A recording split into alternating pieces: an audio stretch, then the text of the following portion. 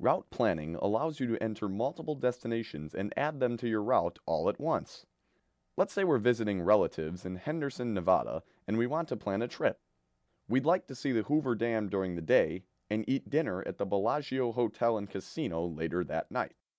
To plan your route, begin at the main menu, tap Options, then Route Planning. Tap Specify Starting Point to begin planning your route. A menu will appear listing the options you have for entering a destination.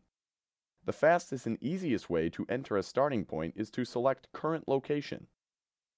Note that in order to use the Current Location option, you must have a GPS signal.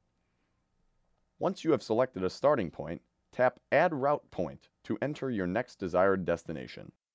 Again, a menu will appear listing your options for entering a destination. Next, we want to head to the Hoover Dam. Tap Search for Point of Interest, or POI for short. Since we don't know exactly what city the dam is in, we will search statewide. Go through and select the Hoover Dam.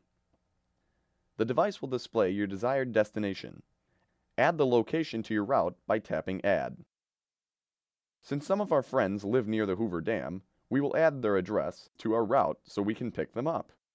We tap Enter an address to add their home to our route.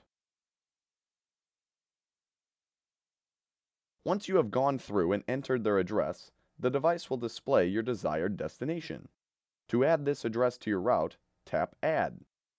Your device will return to the Route Planning screen. Tap Add Route Point to add another destination. Last but not least, we enjoyed the Bellagio Hotel and Casino in Las Vegas so much last night that we'd like to go there again. Since we already saved the location as a favorite, we tap My Destinations, then Favorites.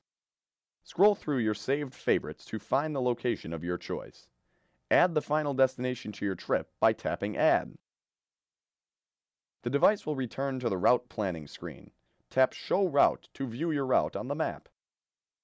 From here you can start navigation adjust the route profile, or save the route for a later date.